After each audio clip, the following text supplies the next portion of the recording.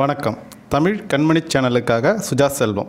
Cinema செய்திகள் ஆன்மீக செய்திகள் மற்றும் நடைமுறை செய்திகள் கண்டுகளிக்க எங்கள் சேனலுக்கு சப்ஸ்கிரைப் செய்து பெல் பட்டனை அழுத்தவும். ஐஏஎஸ் படித்து வந்த தமிழக மாணவி ஸ்ரீமதி டெல்லியில் உள்ள ஐஏஎஸ் பயிற்சி மையத்திற்கு சொந்தமான விடுதியில் தூக்கிட்டு தற்கொலை செய்து கொண்டது தமிழக மக்களிடையே பெரும் அதிர்ச்சியை ஏற்படுத்தியுள்ளது. சத்தியமங்கலம் பக்கத்தில் உள்ள ஆதாம்பாளையம் சொந்த ஊராக கொண்டவர் ஸ்ரீமதி.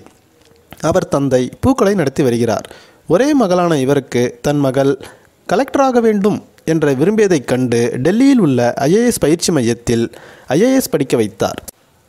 ஸ்ரீமதியும் அங்குள்ள ஐஏஎஸ் பயிற்சி மையத்தில் உள்ள விடுதியில் தங்கி படித்தார். இதற்கிடையில் ஸ்ரீமதி நேற்று இரவு தன்னுடைய விடுதியில் தூக்குப்போட்டு தற்கொலை செய்து கொண்டது அனைவர் மனதிலும் அதிர்ச்சியை ஏற்படுத்தியுள்ளது.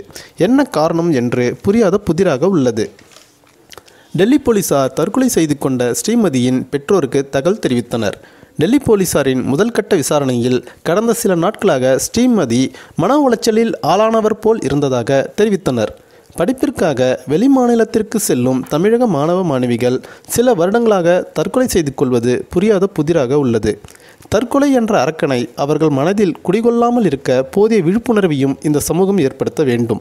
மேலும் பெற்றோர்களும் தங்கள் மகள் மகளை படிக்க வெளிமாநிலத்திற்கு அனுப்புவதாக இருந்தால் தகுந்த எச்சரிக்கையுடனும் விழிப்புடனும் இருக்க வேண்டும். அவர்களின் பேச்சு நடவடிக்கைகள் மற்றும் அவர்களின் முகபாவனைகள் தொடர்ந்து கண்காணிக்க வேண்டும். ஒரே ஒரு பாசம் மிகுந்த மகளை கொண்ட அவரது பெற்றோருக்கு ஏற்பட்டிருக்கும் இந்த இழப்பு மனவேதனை என்னவென்று சொல்ல முடியும்? இறந்த ஸ்ரீமதியின் ஆத்மா சாந்தியடைய எல்லாம் வல்ல இறைவனை வணங்குகிறேன். மேலும் பெற்றோர்களுக்கும் தனது ஆழ்ந்த அனுதாபங்களையும் இரங்கலையும் மன வருத்தத்துடன் தெரிவித்துக் கொள்கிறது தமிழ் கண்மணி சேனல். நன்றி வணக்கம்.